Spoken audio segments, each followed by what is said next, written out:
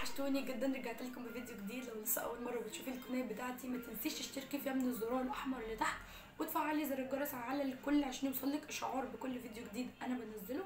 لو عجبك الفيديو ده اعملي لي like و comment عسل برايك واللي عايزة فيديو أي حاجة تكتبي تحت في ال comment ات وأنا هعمله على طول.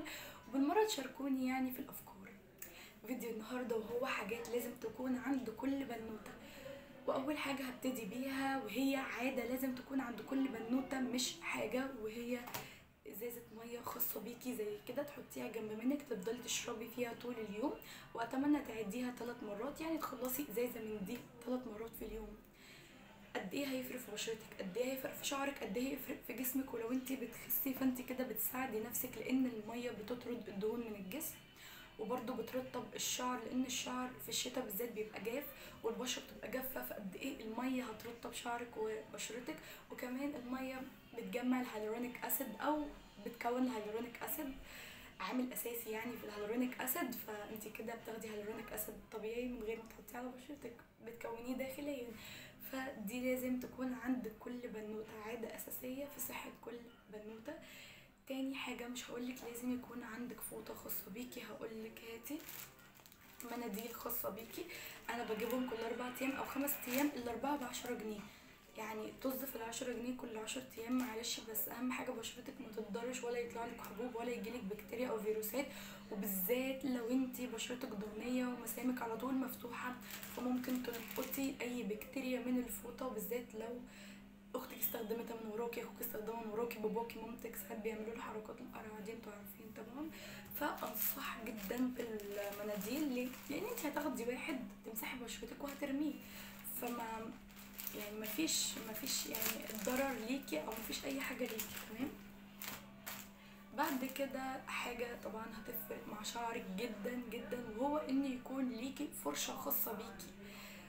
حافظي عليها خليها بتاعتك لأن باباكي بيستخدم جل أمك بتستخدم آه حاجات طبع طبيعة شعرها أختك بتستخدم حاجات تبع طبيعة شعرها انت طبيعة شعرك دهني جافة محتاجة حاجة تكون ليكي انت زائد لو حد عنده قشره هتتعدي انت فالحاجات دي كلها بتبقى غلط جدا بالذات لو انت عايزة تطولي شعرك أو تعالجي شعرك من حاجة معينة.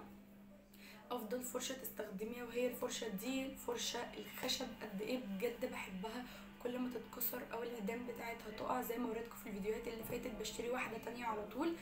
دي سعرها خمسة وتلاتين لأربعين خمسة وأربعين خمسة وخمسين. يعني مش هتزيد عن كده بس مش هتقل عن كده وده شكلها حلو قوي. مفيش حاجة اسمها بقى نوع خشب حلو ونوع خشب وحش هي فرشة خشب. ما تقوليش نوعها عامل إزاي. هي فرشة خشب بتروحي لأي مكان تقولي له سمحت عايزة فرشة خشب. هيديكي واحدة. كلهم زي بعض بس في واحدة أصغر منها وخشبها أغمق شوية. عادي الاتنين عادي. مش هيفرق يعني. عشان في ناس بتدقق بس في الحاجات دي. وبعد كده طبعا دي حاجة بقى متعلقة بالنظافة الشخصية بقى ودي مش هقول لكم بقى كل شوية. ننضف بقى طبعا معجون أسنان خاص بيكي وفرشة أسنان خاصة بيكي. عايزة أقول لكم المعجون ده حلو قوي من سيجنال. ده بالفحم حلو جدا وسعره رخيص وقاعد معايا لحد دلوقتي 3 شهور مع إني بغسل أسناني كل يوم. وساعات مرتين في اليوم والله. إيه الموضوع ده هيفرق؟ لأن مثلا لو انت قاعدة مع خطيبك أو قاعدة مع جوزك وأسنانك صفرا تخيلي شكلك يبقى عامل إزاي؟ أو أسنانك متوسخة. وانت بقى بتضحكي أه وتخيلي المنظر بقى. يا لهوي على الكسف اللي أنت فيها حازم. انسي. شكلك هيبقى بقى مش عايزة أقول لك هتبقي عاملة إزاي. هتبقي ستاره مش متخيلة شكلك يبقى عامل إزاي. فليه نحط نفسنا في المواقف الصعبة دي؟ وإحنا معانا الاتنين دول يا جماعة مش هي بدل ما تجيبي روج يعني هتكوني حاطة روج وأسنانك صفرا يعني بصراحه فمهمين جدا لازم يكون عند كل بنوته لازم بالذات بقى لو انت مخطوبة أو متجوزة. يا جماعة الحاجات دي بتفرق مع الرجالة الرجالة ممكن تكون بكرش وشعرها منكوش بس تقول لك بنت أسنانها صفرا عارفين؟ اللي هو يا عم يا قمر يا جميل. ما علينا. بس نكون إحنا إيه؟ اللي معانا حق. آه بعد كده ده لازم يكون عند كل بنوتة ال BB cream. أنا مش بنصح بال foundation. ولا بنصح بال BB cream والله بس لازم يكون عندك الخروجات السريعة. افرضي وشك مجهد وشك تعبان. تحت عينك اسود النهارده مش شرط يكون عندك هالات بس تحت عينك اسود من الإرهاق. تعبانة بجد يعني فلازم يكون عندك BB cream. ده BB cream معالج. ده بجل الصبار. أحلى حاجة فيه إن هو بجل الصبار. يعني مرطب ومعالج في نفس الوقت من brand كوري اسمها تناكو. آه، الكريم ده حلو قوي. أنا مش بحطه طبعا بصورة يومية ولا بصورة أسبوعية بحطه كل مناسبة. بس بيدي اشراقه كده للوش وبيدي صحة كده للبشرة فلازم تنقي BB cream يكون حلو آه، للمناسبات وللخروجات والكلام ده يعني. فبدل ما انت تنزلي كده ببشرتك ساعات بنات بشوفها أو ما بتحب ما بتحبش تحط make up شبهي بس أكيد لازم نحط make up فيهم.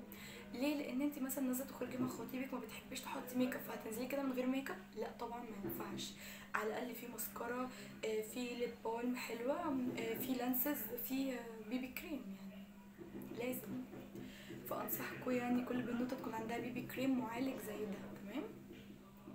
بعد كده طبعا الحاجة المهمة بقى المهمة المهم اللي أهم من أي حاجة وهو كريم العين لازم كل بنوتة تكون عندها كريم عين.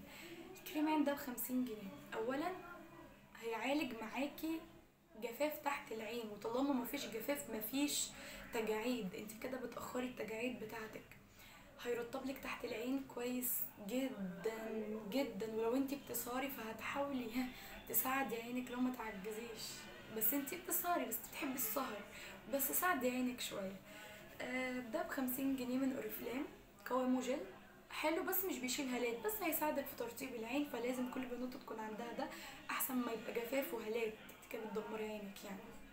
حلو جدا جدا جدا بس مش بيضيع هالات فإحنا عايزين نبحث في طريقنا للبحث عن حاجة لتضييع الهالات فلو لقيت حاجة أحلى منه سعرها مناسب برضو أكيد هاجي أقولها لكم. بس لازم يكون عندك كريم عين مش شرط يكون عندك ده أي كريم عين. وهسهلها لك ما عندكيش كريم عين رطبي تحت عينك بجل الصبار. تمام؟ حاجة لازم تكون عند كل بنوتة وهو الصن بلوك يا جماعة. بترجعوا من الخروجة في مسامات واسعة. الوش بيسمر. آه، وشك مجهد. طلع لك آه، حبوب. آه، طلع لك اللي هي البقع السوداء. طلع لك اللي هي ال- النمش. البقع شبه النمش مش النمش. كل ده عشان مش بتستخدمي sun block فال sun block ده من افينس ممكن تلاقيه في الصيدليات الكبيرة. تسألي عليه في الصيدليات الكبيرة. في الجروبات ال online ال online ما خلاش حاجة يعني يا جماعة. ده ال SPF بتاعه خمسين في المية. آه، وده كريمي يعني مع إن أنا بشرتي دهنية بس حلو معاه وبشرتي بتمتص وزي الفل وما شفتش منه حاجة ولا بيطلع حبوب ولا بيعمل أي حاجة وبيحمي بشرتي وبشرتي بترجع زي ما هي يعني لو رايحة البحر بيبقى معايا في الشنطة وكل ثلاث ساعات بجدده. آه، كل ثلاث ساعات لازم تجددي الصن بلوك لأن مفعوله بيروح. فده كان ب 130 جنيه ويا بلاش وقعد معايا بقاله سنة الراجل متكلمش يعني. بعد كده لو انت بنوتة بتحطي لانسز لازم يكون عندك قطرة مطهرة للعين القطرة دي ما اقولكوش بجد على جمالها اسمها نافكون تحفة تحفة. دي كانت ب 15 جنيه أو ب 12 جنيه والله العظيم جامدة جدا. قبل ما بحط ال lenses بحط منها وبعد ما بقلع ال lenses بحط منها بجد بتفرق جدا. و... وعارفين بتقتل كده البكتيريا اللي جوه العين سواء بتحطي lenses أو لأ بس البنات اللي بتحط lenses لازم يكون عندها القطرة دي. حاجة أخيرة لازم تكون عند كل بنوتة هو ده. لو انت مش بتحبي تحطي lipstick أو روج ممكن تحطي lip balm بيديكي لون زي كده وتخرجي بيه. عادي مع خطيبك تخرجي بيه بقى عموما يعني. ده بالأفوكاتو كان بخمستاشر جنيه بس. فدي الحاجات اللي المفروض تكون عند كل بنوتة. هعمل برضو حاجات المفروض تكون عند كل بنوتة للبشرة والشعر والجسم. لو عايزين الفيديوهات دي شجعوني تحت في ال comment ات واعملوا لي like للفيديو ده. لا bye واستنوني فيديوهات جاية كتير.